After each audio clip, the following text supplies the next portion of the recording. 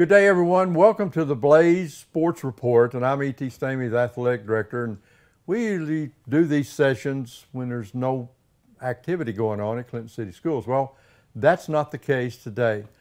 To, today, our guest is Adeline Queener. She has qualified in three different events, and she will be going to the Junior Olympics. And with her is her father, Josh. Uh, Josh, let's start off with you just a little bit. Um, any parent that's got siblings, got, mm-hmm. got kids, uh, boys or girls, has aspirations of being an athletic, I guess, someday when he get a little bit older. When was the first sign that you and your wife had thoughts that Adeline maybe have, she liked to run or she had some talent?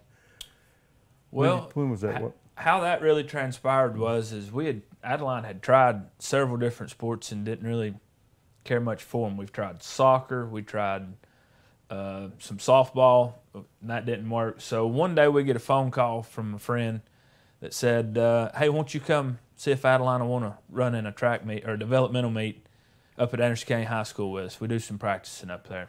And that's pretty much where it led from. It was, matter of fact, it was a girl that's in her class, so they were friends. Sure. She knew somebody, sure. so we started going to AC on a Tuesday, Friday, just as a fun event and uh, that's where it transpired from. Well, of course, I've been keeping up with you, being close friends with you, and been keeping up with this young lady, and she really puts in her summer work. And a lot of times, the old cliche of you lift weights in football of summer, you win games in the fall. So she uh, really puts in her time. Adeline, I like to I like to throw a question at you.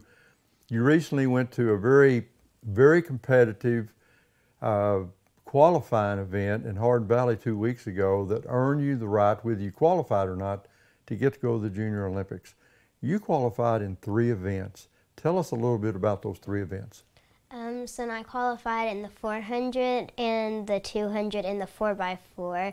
And in the 200, um, I qualified in fourth place. And the 400, I qualified in third. And the 4x4, I qualified second. I've got to ask you this. This is very competitive. If you don't get the times, you don't qualify.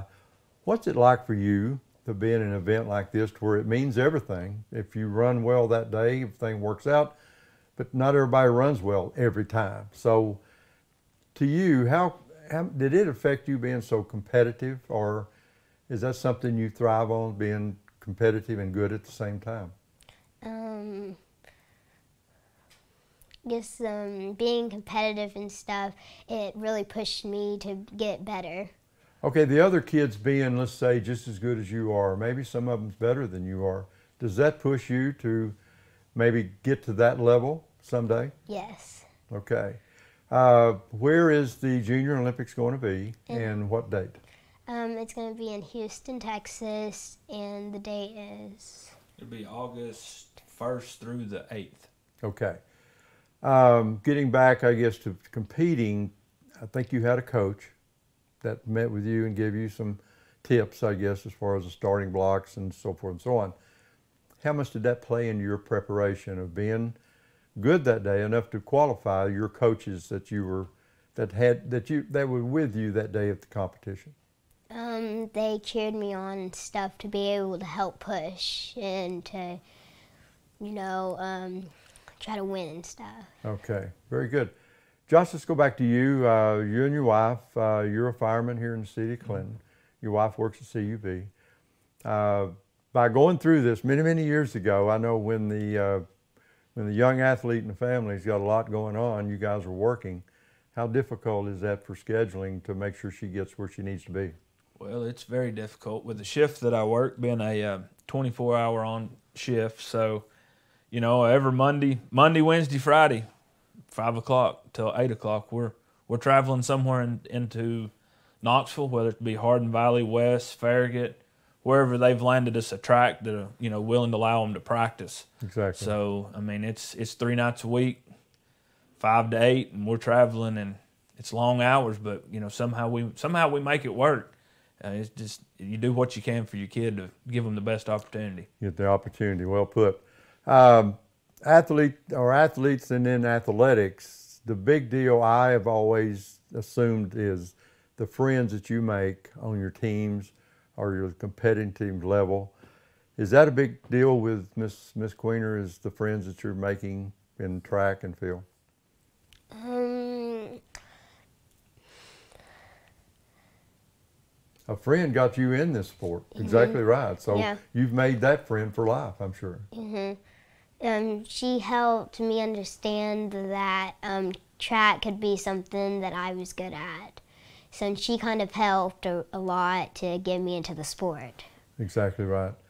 Uh, Josh, going back uh, to making sure she has everything that she needs to be competitive. Um, just getting down to this question, because I talked to Ken Lay a couple of weeks ago of how expensive high school athletics has got and what it costs a kid to play high school athletics.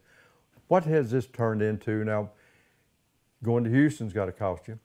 Uh, It, it, it is. We've we've had to plan months ahead. We started Right. planning uh, for Houston uh, back in, I guess, the end of May, first of June, when it when the schedule got put out, because you have to plan that far out just to make sure you have a reservation or you know you have everything in line to get yourself there if you qualify. Exactly. So um, you got to do the, you know, there's always that chance that you don't. So as a parent, you just have to, uh, I guess you pre-plan for everything, go ahead and get it in the works, and you know, you just hope and pray that you make it there. But if you don't, you just call and cancel like anything else. Uh, but it, it, it's been a it's been a several month process to get ready to go. Qualifying in the three events, Adeline, that two weekends ago was extremely hot, best I remember. Mm-hmm. How do you manage that as far as being ready for that next qualifying event? How do you stay cool? How do you know how much to drink and, or maybe you drink too much and you don't drink enough? Who helps you with those decisions?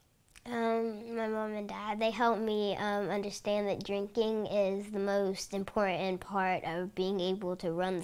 Run. It's Exactly. because you always have to be hydrated for your practice and for the next day of the meet. Very good. Okay, uh, you qualified for three different events.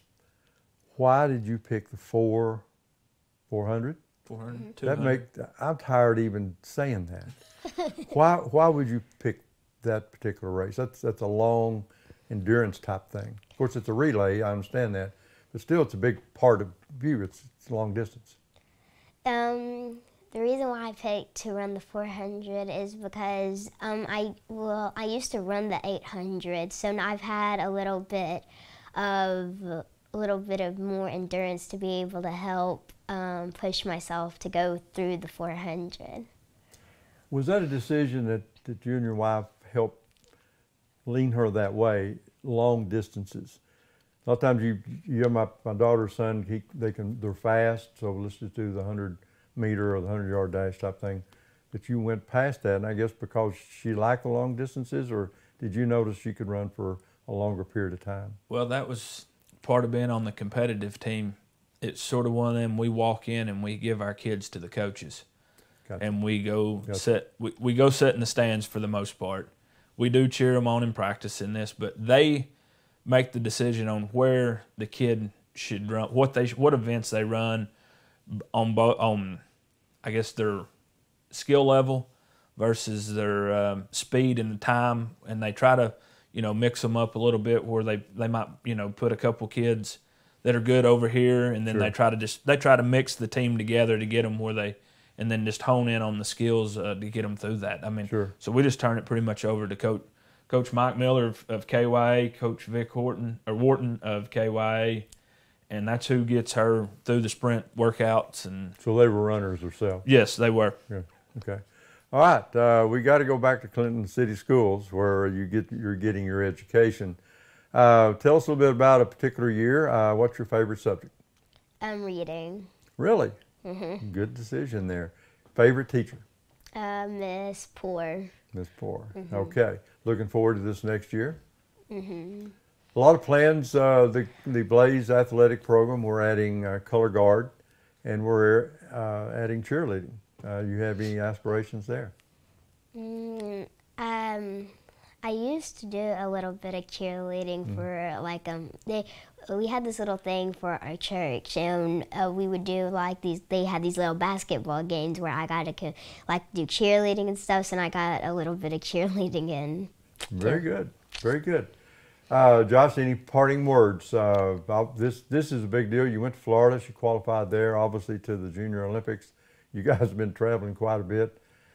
Just kind of explain as a parent the experience that you're going through now. Well, from a parent that played baseball in high Yeah. school, uh, you know, I knew where the start and finish line was, and that's about all I can tell you about track. But over the past couple of years, man, we've learned learned a lot, made a lot of new friends. Exactly. Um, you know, I'm I'm just a proud parent just to be able to see her run wherever she finishes. So, um, you know, just lifetime chance to go to Houston. So, you know, you know, she may not get to go again. Who knows? And it, you, you just try to make the best of what you got. Well, it's the support that I have noticed, and a lot of a Blaze athlete. Uh, we, we had a um, track, the track team this year had 63 on the team. Now that is interest, and that's that's support from the parents, and uh, a lot of other uh, sports that we have within, within our program. Uh, cross country has uh, 50 members, and of course we go and compete very well. So uh, the parents' support and giving their kids the opportunity doesn't mean they're going to be a superstar, No. but you're giving them the opportunity. You just try to give them all the options as a young child to make the decision as they get into high school, what Exactly. sport or whether it's cheerleading, basketball, softball. You just try to give them a foundation as a parent to make the decisions to, you know, maybe pursue a different career in high school for college. You know, uh, college, college tuition's going up every day, so You need a little help every, can help. that's exactly right. okay, with the education part of it at Clinton Elementary School, you got to be very proud of the education she's having, and uh, you'll be in what grade next year? Fourth. You'll be in the fourth grade. You're getting old real quick. so, um, thank you very much. And one, we're very proud of you. Two, uh, good luck. Okay. Uh, made any arrangements on the trip yet? How many miles it is? How long it takes you to get there? Twelve hour. It's a twelve hour drive. Hotels booked. Uh, probably about. I don't know. I don't know how many miles, but we've got. My wife's making a plan right now of itinerary of places to see, places to go. So Maybe right you only now. go there once. That's maybe true. I'll be able to go there once. But Good deal. Thank you very much, Josh. Thank you. I know um, you're very busy. I've got a hat on right now that says something Oh, about the. Anderson County Fair. Tell us a little bit about that real quick. well, July twelfth through the seventeenth, six days, six best days of summer. We hope to see all the Blaze athletes out, That's exact- teachers, parents. That's exactly. Um, Miss Queener didn't want to probably tell nobody, but Tuesday night she'll be walking the aisle on the Miss Fairest of the Fair or Tiny Tot Fairest of That's the a big deal. That is a big so deal. uh, she'll be out. So hopefully we get some support, and we'll hope to see everybody out at the Anderson County Fair. Good. Thank you very much. Good luck. and Thank you. Go Blaze! All right, guys. Thank you very much for being with us today. We had an excellent interview with Adeline Queener, uh, and she'll get back to us, and we'll tell you exactly how she does at the Junior Olympics. Very proud of, the, of all the Blaze student athletes, and Miss Adeline Queener will be a fourth grader next year. Josh, thank you, and be Thank you. careful in uh, next fire you fight. Uh, well, hopefully we won't have any. Have a good day, everybody. Welcome, and we'll see you next week with another guest from the Clinton Blaze Athletic Program. And when in doubt, go Blaze.